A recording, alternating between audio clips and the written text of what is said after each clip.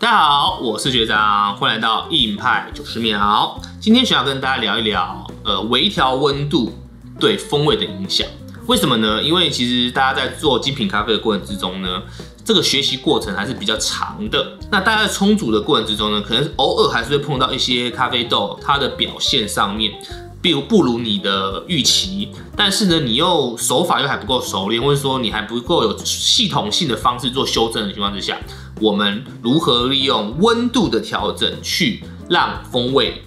往你比较喜欢的方向前进？那原则上呢，温度的调整其实对于整体萃取率的影响都很大。那我们今天假设呢，大家刚第一次冲煮的时候温度都是九十度，那如果你今天觉得你的咖啡的酸味稍微强了一点哦，你不希望这么酸，希望能够。呃，口感甜一点点，或是不要让果酸那么刺激的话呢，实际上呢，那你可以调高你的初始水温，从九十度到九十三度，甚至到九十五度。那如果你今天喝的咖啡觉得苦杂味比较重，或者觉得酸度不足，或者是口感过分重的情况之下呢，你也可以略微调整你的温度，从九十度可能到八十八度，或是到八十六度都没有关系。那正常来说呢，八十五度到九十度这个 range 其实都是手冲咖啡非常适合的温度，所以大家也不要觉得很紧张，说哦能不能调整温度？那刚刚所说的调整温度的方式，那其实可以蛮立即的让你的咖啡有显著的差异性，然后，但学长还是要提醒大家哦。这个手法本身呢，是为了让大家能够避免一直冲出你不喜欢的味道，有点讨厌嘛。追本溯源，需要还是希望大家能够多多的去充实手冲的一些基本观念后，光是用水温去调整